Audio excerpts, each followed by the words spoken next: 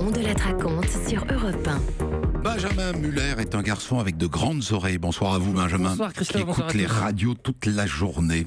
Alors aujourd'hui, Oh là là, ça va mal à droite, ça va mal chez les Républicains. Si j'ai bien compris, le bureau politique est tombé d'accord pour virer les ministres de Macron, mais n'a pas pu l'entériner faute de quorum. Donc, depuis ce matin, les responsables LR se relaient dans tous les médias pour commenter le bazar ambiant, et c'est à celui qui tapera le plus fort. First player, Laurent Wauquiez, France Inter. Bon, D'abord, parfois, vous savez, la, la politique ressemble à un mauvais gag.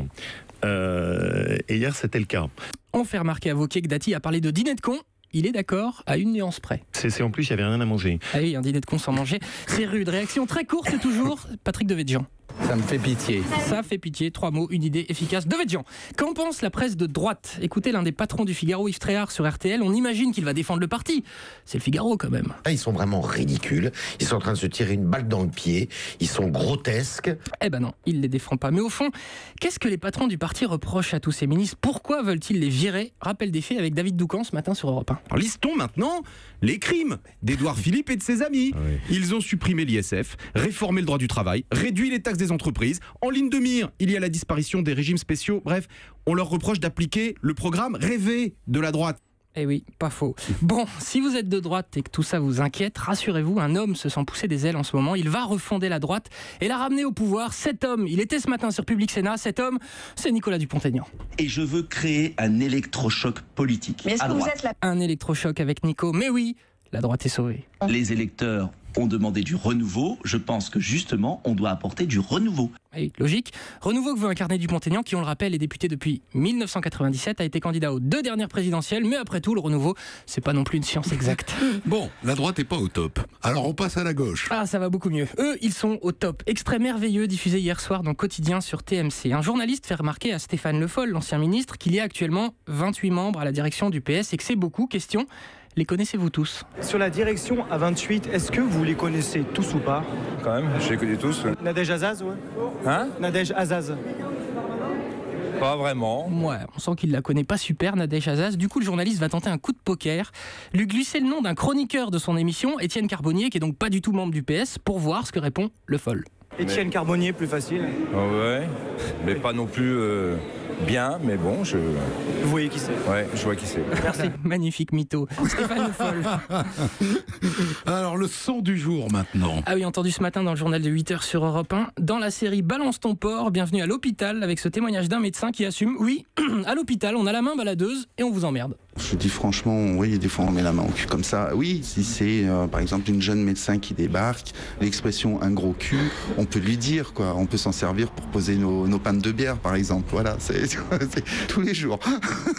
Voilà, merci docteur. Réaction à l'instant de Marc-Olivier Fogiel via Nicolas Canteloup. On a entendu ce témoignage d'un médecin sans complexe avouer mettre des mains aux fesses.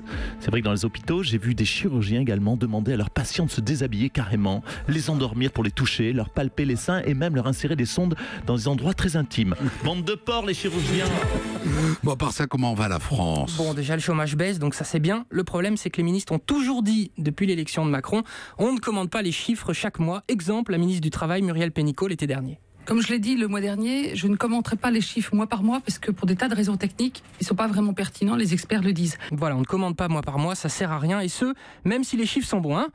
Benjamin Griveaux, ce matin chez Patrick Cohen.